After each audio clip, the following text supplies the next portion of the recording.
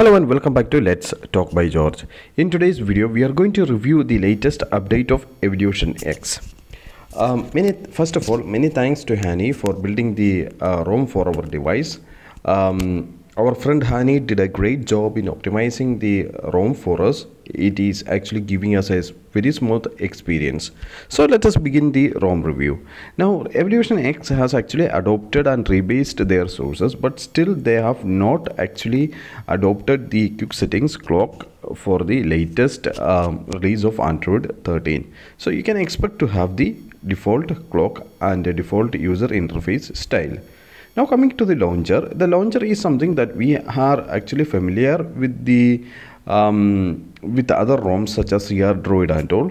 So the launcher itself is actually having quite a lot of customization.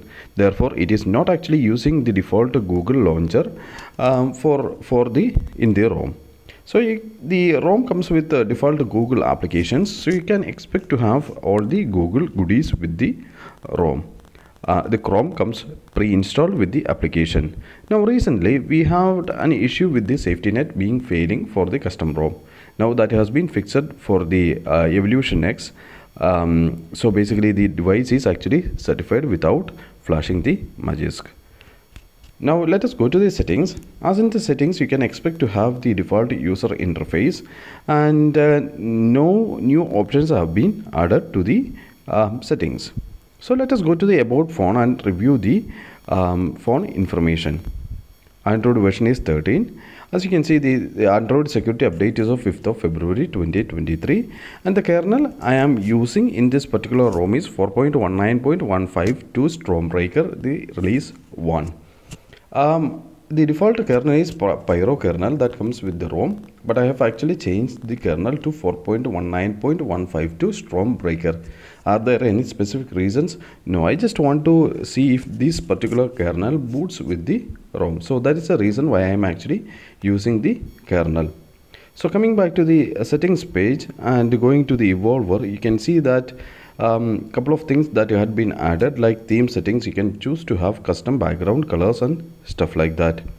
Then dark theme also you will get a few options for the dark theme like black clear vivid or paint in the snow then espresso. So you can use choose to have different sort of backgrounds for the black theming. Also there are a couple of cool choices for the clock screen font which you can choose then uh, if you want to choose the clock screen color you can also choose to have clock screen custom uh, colors that you can choose to have different sort of um, hex code for it. Then coming to the headline or body font you will have a couple of choices for the headline or body fonts. Then icon packs you also get uh, these sort of icons for your icon pack and uh, Wi-Fi icon style. You can choose to have different sort of Wi-Fi icon styles for your status bar. Well, all the other options that you are actually familiar with the ROM and uh, there had been or there isn't any uh, new additional customization option that is being added onto the ROM. Well, even if there even if there is no addition of new customization to the ROM, still the ROM feels very smooth and I do really appreciate the maintainer of the ROM for making the ROM very smooth for our device. So that is my review about the ROM. So what are my final verdicts?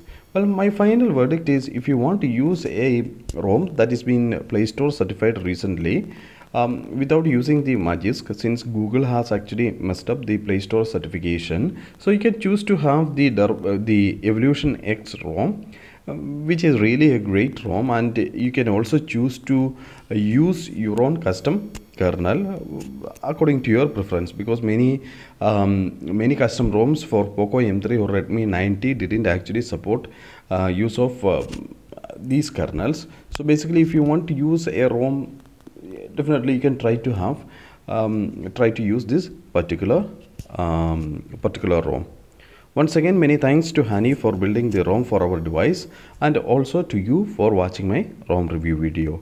Thank you.